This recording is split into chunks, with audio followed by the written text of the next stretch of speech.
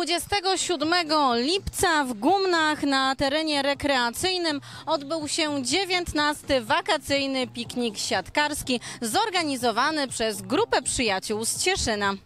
19 wakacyjny piknik siatkarski w Gumnach, czyli impreza się już przyjęła, spodobała, jest grono fanów i uczestników i zawodników. Dokładnie, przyjeżdża do nas nawet ekipa bardzo liczna z Płocka. Mamy ponad 10 osób z Płocka, z Radomia osoby w tym roku też przyjechały.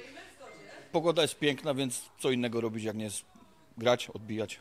No właśnie, ale to kto może e, wziąć udział w e, tym wydarzeniu? Wy zapraszacie, to już są stałe ekipy z całej Polski, rozumiem? E, U nas formuła jest taka, że mamy drużyny losowane z zawodników, którzy zgłaszają się indywidualnie. E, maksymalnie 48 osób, 16 drużyn, bo z uwagi na te dwa boiska czasowo byśmy dłużej nie poszli, nie? E, może przyjść każdy, kto ma wolną chwilę, kto się lubi bawić, spędzić wspaniały czas z nami. Tylko mówię tak, z uwagi na ograniczoną ilość e, osób, e, pierwszeństwo mają stali bywalcy, którzy byli rok wcześniej. No.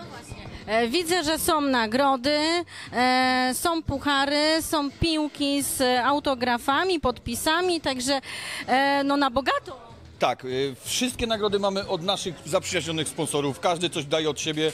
Robimy to tak jakby można powiedzieć taką imprezę składkową. Każdy coś przyniesie, każdy coś daje i tak jak widać tych nagród co roku jest, co roku jest więcej. Natomiast mamy też taki y, wymiar y, charytatywny, ponieważ dużą część pieniędzy przeznaczamy na przykład na koszulki, które są licytowane podczas wośpu, podczas różnych charytatywnych innych, innych imprez, tak jak na pucharach są piłki z podpisami drużyny Jastrzębskiego Węgla, Skrybełchatów, koszulki Aluronu, Wisły Płock. Także przyjeżdżać i korzystać. Przyjeżdżać, korzystać. Wy dzisiaj tutaj cały dzień e, gracie, działacie. Widzę, że też tak piknikowo trochę. No jak sama nazwa wskazuje, wakacyjny piknik siatkarski musi być piknikowo. Nie spinamy się, bawimy się. Każdy ma czas, każdy robi to, co lubi. A zaczęliśmy w zasadzie od czwartku już.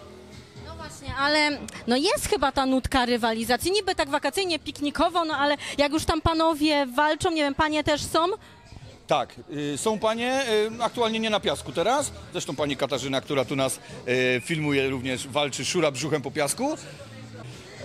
Rywalizacja tak, właśnie kończymy fazę grupową, przechodzimy na fazę pucharową. Osiem najlepszych drużyn z, trzech grup wychodzi dalej. No i finały, myślę, około godziny 18 będą grane.